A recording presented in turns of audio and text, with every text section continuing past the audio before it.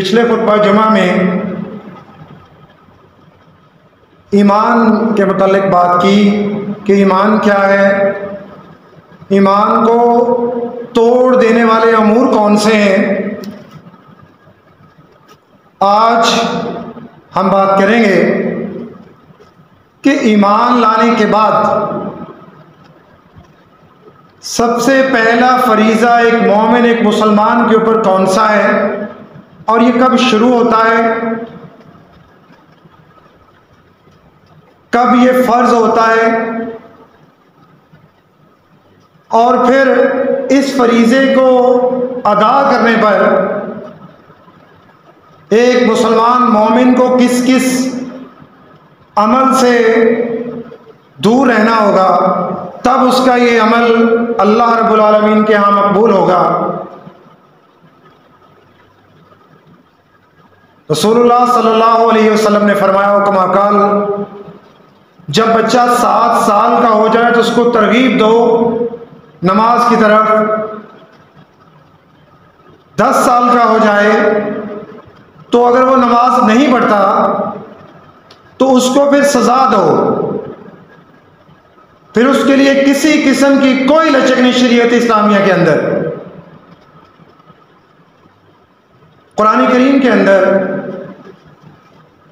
متعدد مرتبہ اللہ رب العالمین نے نماز کو پڑھنے کا، قائم کرنے کا حکم دیا۔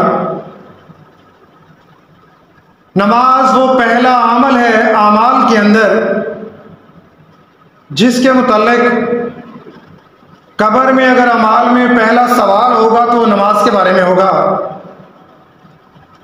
ایمان لانے کے بعد، توحید کا اقرار کرنے کے بعد، شرک سے بیزاری کا اظہار کرنے کے بعد، اگر کوئی عمل ہے جس کے بارے میں پوچھا جائے گا، وہ تو نماز ہے۔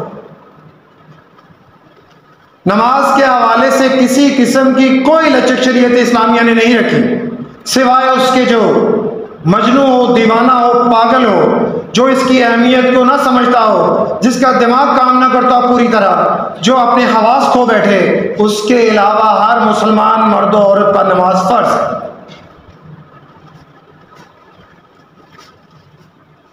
حدیث کے اندر آتا ہے، رسول اللہ صلی اللہ علیہ وسلم فرمایا کما کال فرمایا ایک آدمی، نیک آدمی، جب وہ اس دنیا سے جائے گا، تو اسے قبر کے اندر دفنائیں گے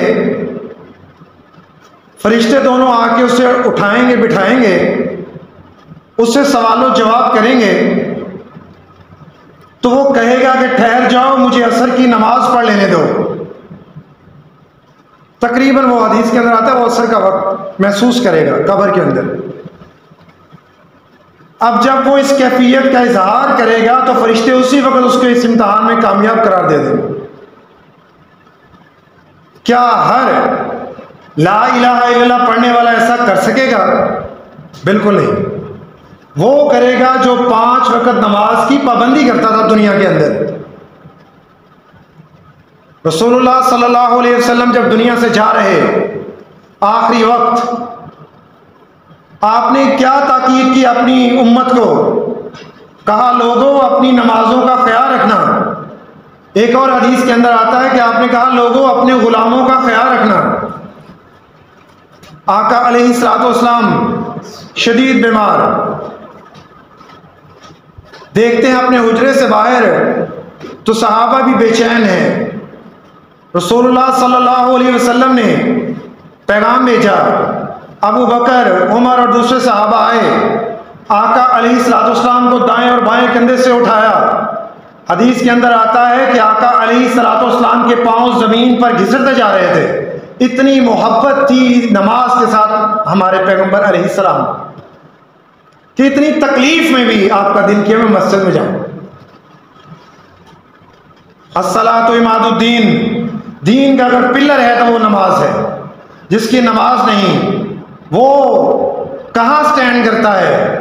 رسول اللہ صلی اللہ علیہ وسلم نے فرمایا حکمہ کال بین العبد و بین الکفر ترک الصلاۃ بندے اور کافر کے درمیان جو چیز ڈفرینشیٹ کرتی ہے، جو فرق کرتی ہے، وہ نماز ہے۔ ہماری حالت کیا ہے؟ کہ ہم اپنی نمازوں کی حفاظت نہیں کرتے، ہم اس کا خیال نہیں رکھتے، نہ ہم خود خیال رکھتے ہیں، نہ اپنے بچوں کو اس کی ترغیب دیتے ہیں۔ ایک مسلمان تو ایسا نہیں ہوتا۔ وہ تو اللہ رب العالمین کا ایک دفعہ حکم آ جائے تو اس کے اوپر سر خم تسلیم کر لیتا ہے، وہ اس کا سر جھک جاتا ہے، وہ کہتا ہے، میرے میری اپنی کیا مجال، میرا اپنا کیا ذہن، میری اپنی کیا سوچ، میرے رب کا حکم آ گیا میں آگے کیا کر سکتا ہوں؟ وہ عمل کرنے کا پابند ہوتا ہے۔ لیکن یہاں تو ہیلے بہانے ہی بہت۔ یہاں تو کبھی کوئی بہانہ، کبھی کوئی بہانہ۔ قرآن کہتا ہے، جمعے کی اذان ہو جائے، گھروں سے نکل پڑو۔ چھوڑ دو سارے کام دنیا کے۔ ہم گھروں میں مست بیٹھے ہوئے۔ ہمیں اس کی کوئی پرواہ نہیں۔ لیکن ٹائٹل ہمارا یہ ہے کہ ہم مسلمان ہیں، ہم مومن ہیں، ہم محمد رسول اللہ علیہ وسلم کے ماننے والے ہیں۔ نبی کہتے ہیں سلاد و اماد الدین۔ نماز دین کا ستون ہے، نماز مومن کی معراج ہے۔ فرمایا، نماز میری آنکھوں کی ٹھنڈک ہے۔ اور قرآن کریم کے اندر بھی متعدد بار نماز کے پڑھنے کا حکم دیا گیا۔ پھر کہا دس سال کا ہو جائے بچہ تو اس کو سختی سے نماز پڑھاؤ۔ ایک اور جگہ آتا ہے، رسول اللہ صلی اللہ علیہ وسلم فرمایا کما کال تم میں سے ہر کوئی مسئول ہے۔ ہر کوئی مسئول ہے۔ اس سے اس کی رعیت کے بارے میں پوچھا جائے گا۔ ہر گھر کا سربراہ، وہ مسئول ہے اپنے گھر کا، پانچ، چھ، سات، دس، بارہ، جتنے بھی افراد اس کے اندر رہتے ہیں، وہ ان کا جواب دہ ہے، ان کی ساری دنیاوی ضروریات تو یہ پوری کرتا ہے، لیکن اگر پوری نہیں کرتا تو دینی ضروریات پوری نہیں کرتا۔ نہیں پوچھتا کہ تم نے نماز پڑھی کہ نہیں پڑھی۔ نہیں پوچھتا کہ تم سوئے کیوں رہے۔ آقا علیہ سلاۃ والسلام گھر کے اندر آتے ہیں۔ عائشہ رضی اللہ گھر میں موجود ہیں۔ ایک مہمان آیا ہوا، قریبی عزیز عائشہ رضی اللہ کا۔ سویا ہوا ہے۔ کہا، عائشہ، اس نوجوان نے نماز پڑھی ہے۔ کہتی ہے، نہیں۔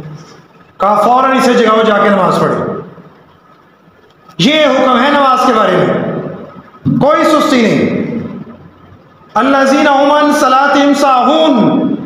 کن کے لیے خرابی ہے؟ فوائل المسلین جو اپنی نمازوں میں سستی برتتے ہیں، جو غفلت برتتے ہیں، جو کہانی برتتے ہیں، کہتے کوئی نہیں، پڑھ لیں گے، بڑی زندگی بڑی تمہیں کیا پتا ہے تمہاری زندگی کتنی مختصر ہے؟ قرآن کریم کے اندر میں نے جو آج آغاز میں آیت کریمہ تلاوت کی، المال والبنون زینت الحیات الدنیا والباقیات الصالحات خیر عند ربک ثواب و خیر عملا۔ مال و اولاد تو دنیا ہی کی زینت ہے، مال بھی دنیا کی زینت، اولاد بھی دنیا کی زینت۔ جو باقی رہنے والی چیزیں ہیں وہ نیکیاں ہیں، وہ اچھائی ہے۔ وہ نیک اعمال ہیں جو ہم دنیا میں کر کے اللہ رب العالمین کے سامنے جائیں گے۔ کوئی گنجائش نہیں۔ دنیا کے لیے ہم اپنے بچے کے لیے بہترین سکول، بہترین کالج، بہترین یونیورسٹی، بہترین تعلیمی ادارے کا انتخاب کرتے ہیں۔ ہم نے اس کو لباس دینا ہو، بہترین آؤٹ لیٹ سے ہم لباس خرید کے لاتے ہیں۔ ہم نے اس کو کھانا دینا ہو، بہترین کھانے کا انتخاب کرتے ہیں۔ مگر اس کی آخرت کے بارے میں ہم اتنے بے بہرا، بے فکر ہو جاتے ہیں کہ ہمیں فکر کوئی نہیں رہتی۔ وہ پلر جس کے اوپر اسلام کھڑا ہوا، وہ پلر ہی آج ٹوٹ گیا۔ رسول اللہ صلی اللہ علیہ وسلم نے فرمایا کما کال فرمایا، اسلام ایک زنجیر کا نام ہے۔ غور کیجیے گا اس حدیث پر۔ فرمایا اسلام ایک زنجیر ہوتی نا، لوہے کی سنگل جس کا بنا ہوتا ہے، جو بھینسوں کو باندھنے کے لیے، جانوروں کو باندھنے کے لیے ہم استعمال کرتے ہیں۔ فرمایا اسلام ایک زنجیر کا نام ہے۔ جس طرح اس کے اندر مختلف ہے ٹکڑوں کو جوڑ کے وہ سنگل بنایا جاتا ہے، زنجیر بنائی جاتی ہے۔ فرمایا ایک وقت آئے گا، اسلام کا پہلا کڑا جو ٹوٹے گا، وہ نماز ہوگی۔ لوگ نماز پڑھنا چھوڑ دیں۔ گے آج برکتیں کہاں سے آئیں آج وہ اللہ کی رحمتیں کہاں سے اترے وہ بنیادی چیز کہ جس کے بارے میں قرآن کریم میں کئی بار حکم آیا، متعدد مرتبہ اللہ رب العالمین نے حکم صادق کیا اس کی پرواہی نہیں ہمیں اذان ہوتی رہے، کان میں پڑتی رہے، سوئے ہیں تو سوتے رہیں گے۔ اسپیکر کی آواز آتی رہے مؤذن اذان کی طرف بلاتا رہے۔ یہ گارنٹی اس گارنٹی کے ساتھ حی علی الصلاح، حی علی الفلاح، اسی میں سکسیس ہے، اسی میں کامیابی ہے۔ آؤ اس کی طرف۔ ہمیں گارنٹی صرف یہی الفاظ دیتے ہیں، اگر یہ پڑھو گے نیک عمال کرو گے تو تمہارے لیے آسانی۔ مگر ہم ہیں تو اس کی پرواہی نہیں کرتے۔ ہمیں آج بھی سوچنا ہوگا۔ زندگی بڑی مختصر، ایک پانی کے بلبلے کی طرح۔ رسول اللہ صلی اللہ علیہ وسلم کا صحابی پوچھتا ہے اللہ کے رسول سے، اللہ کے رسول مجھے یہ بتائیے جو چھوٹے چھوٹے گناہ بندے سے ہو جاتے ہیں، ان کے لیے کیا کرنا پڑے گا؟ کہا تو نے ابھی نماز پڑھی ہے۔ کہنے لگا ہاں اللہ کے رسول، میں نے تو نماز ظہر ابھی پڑھی ہے۔ کہا، فجر پڑھی تھی؟ جی پڑھی ہے۔ کہا، جو چھوٹے گناہ گناہ صغیرہ فجر سے ظہر کے درمیان کیے جاتے ہیں، وہ جب آپ نماز پڑھتے ہیں تو اللہ رب العالمین ان کو معاف کر دیتے ہیں۔ جو زہر سے اثر کے درمیان کیے جاتے ہیں، ان کے درمیان جب آپ جو گناہ صغیرہ کرتے ہیں، دونوں نمازیں پڑھتے ہیں، تو درمیان میں وہ گناہ اللہ معاف کر دیتا ہے۔ اسی طرح اثر اور مغرب، اسی طرح مغرب سے عشاء، اسی طرح عشاء سے فجر۔ فرمایا، جس نے فجر کی نماز پڑھی، وہ اللہ رب العالمین کی رسپانسبلٹی میں چلا گیا۔ وہ اس کو کوئی غم، کوئی ڈر، کوئی تکلیف نہیں پہنچے۔ اب اس کا یہ مطلب ہرگز نہ لے لیجیے گا کہ اگر کوئی تکلیف پہنچ بھی گئی تو اس کا کیا مطلب ہے؟ پھر اللہ نے اپنی رسپانسبلٹی سے نکال دیا۔ کچھ لوازمات ہیں جو پورے کرنا ہوگی کون سے لوازمات ہیں؟ ایمان لانے کے بعد۔ نماز کے تقاضے کیا ہیں؟ نماز ہم سے ڈیمانڈ کیا کرتی ہے؟ وہ کون سے ایسے اصول ہیں جن کی بنیاد پہ ہماری نماز اللہ کے ہاں جو ہے وہ قبول ہو؟ سب سے پہلی بات توحید۔ ون صف اللہ۔ ایک اللہ ہی داتا، ایک اللہ مشکل کشا، ایک اللہ حاجت روا، ایک اللہ دستگیر، ایک اللہ غوث اعظم، ایک اللہ زندگی دینے والا، ایک اللہ اولاد دینے والا۔ ساری دنیا اللہ کی۔ ہم سب اللہ کے غلام ہیں۔ ہم اللہ کے در کے منگتے ہیں۔ ہم فقیر ہیں۔ اللہ غنی ہے۔ اللہ طاقتور ہے۔ یہ عقیدہ ایک مومن مسلمان کا ہونا چاہیے۔ دوسری بات، حلال رزق۔ رزق اگر حلال ہے تو نماز قبول ہوگی۔ مگر ہمیں تو رزق کی فکر ہی کوئی نہیں۔ وہ کون سے ذرائع سے آ رہا ہے اس کے کوئی پتہ نہیں ہمیں۔ بالکل ہم رات کو بیٹھ کے یہ سوچتے نہیں کہ ہم نے پیسہ کہاں سے کمایا۔ کون سے ذرائع استعمال کیے؟ اس کے اوپر کوئی غور نہیں ہمارا۔ دوسری یہ شرط ہے، حلال رزق کا ہونا ضروری ہے، تب بھی بات قبول ہوتی ہے۔ اگر رزق حلال کا نہیں تو پھر یہ ٹکرے مارنے کا، پھر اتنی مشقت کرنے کا کوئی فائدہ نہیں۔ ایک طرف تو سود کا کاروبار ایک طرف تو رشوت ایک طرف تو دوسرے کا حق مار رہا ہے، ایک طرف تو دوسرے کی زمین ہتھیائی ہوئی ہے، ایک طرف تو جھوٹوں، جھوٹ پر مبنی کاروبار کر رہا ہے، اور دوسری طرف کہتے ہیں میری دعائیں قبول نہیں ہوتی۔ کیا کہتے ہیں اکالی سات اسلام صحابہ کے ساتھ بیٹھے ہوئے؟ آپ نے کہا مسافر کی دعا قبول ہوتی ہے۔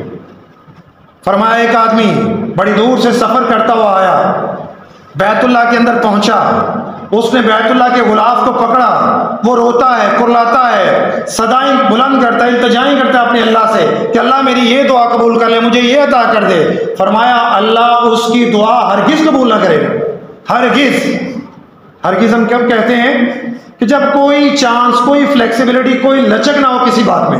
فرمایا، اللہ اس کی دعا ہرگز قبول نہ کرے گا۔ کیوں؟ کیوں قبول نہیں ہوگی؟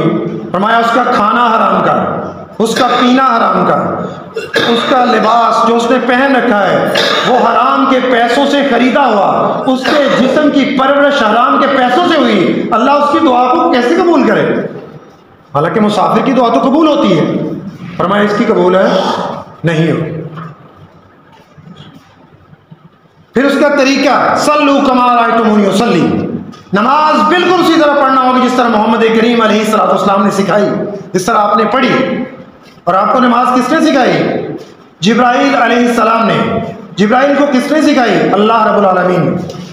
اسی طرح پڑھنا ہوگا تھوڑی بہت لچک جو بھی ہے، کچھ حدیث کے حوالے سے پوچھ نیچ ہو جاتی ہے۔ مگر ہمیں، ہماری ٹاپ پریورٹی یہی ہونی چاہیے کہ طریقہ وہ اپنائیں جو نبی کریم صلی اللہ علیہ وسلم کا۔ اسی طریقے سے ہمیں نماز پڑھنا ہو۔ پھر نماز کے بارے میں احتساب چیک اینڈ بیلنس اپنی اولاد سے پوچھنا ہوگا، تم نے کتنی نمازیں پڑھی؟ روزانہ کا چیک اینڈ بیلنس یہ نہیں کہ کبھی کبھار پوچھ لیا۔ تم میں سے ہر کوئی مسئول ہے اپنی فیملی کا، اپنے گھر کا، اپنے خاندان کا۔ اور تم سے پوچھا جائے گا جو تمہارے انڈر لوگ کام کر رہے ہیں، جو تمہارے انڈر زیر کفالت ہے۔ ہم نہیں پوچھتے، گنگے بن کے بیٹھے رہتے ہیں۔ ڈائری کیا ملی؟ تم نے نمبر کتنے لیے؟ تمہاری پوزیشن کون سی آئی؟ تم سٹینڈ کہاں کر رہے ہو اسکول کے اندر کالج یونیورسٹی میں؟ تم نے ڈگری کون سی مکمل کر لی ہے؟ تم پیسے کتنے کماتے ہو؟ اس چیز کی تو ہمیں فکر ہوتی ہے، اگر فکر نہیں تو نماز کی فکر نہیں ہوتی۔ ہم میں سے کتنے لوگ ہیں نا؟ اکاؤنٹیبلٹی کرتے ہیں، احتساب کرتے ہیں اپنی اولاد کا، کہ کتنی نمازیں پڑھی اور کتنی گئیں۔ آخری بات کرتا ہوں۔ نبی کریم صلی اللہ علیہ وسلم نماز کے بارے میں بڑی فکر کرتے ایک نبینہ صحابی، وہ پوچھتا میرا گھر بڑا دور ہے، مگر میں آ نہیں سکتا۔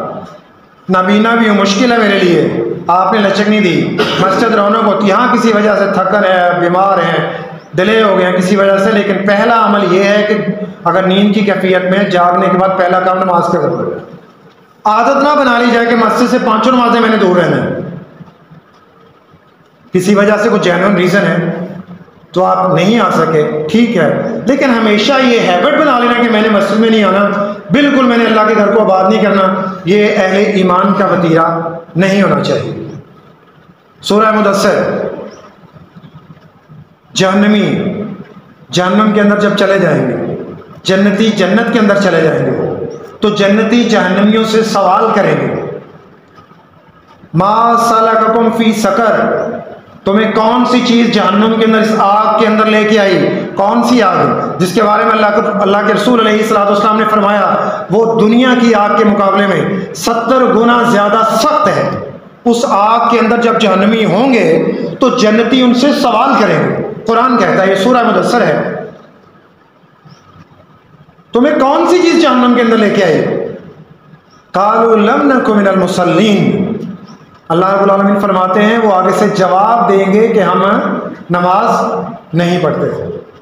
اس لیے ہم نے اپنی اصلاح کرنی ہے، ہم نے اپنے آپ کا احتساب کرنا ہے۔ ایک مومن مسلمان چوبیس گھنٹے اپنا احتساب کرتا رہتا ہے۔ کون سی کمی ہو گئی؟ اور ایک مومن مسلمان کا دن پچھلے دن سے آنے والا دن بہترین ہونا چاہیے، دی بیسٹ ہونا چاہیے۔ کمیاں کوتاہیاں ہو جاتی ہیں۔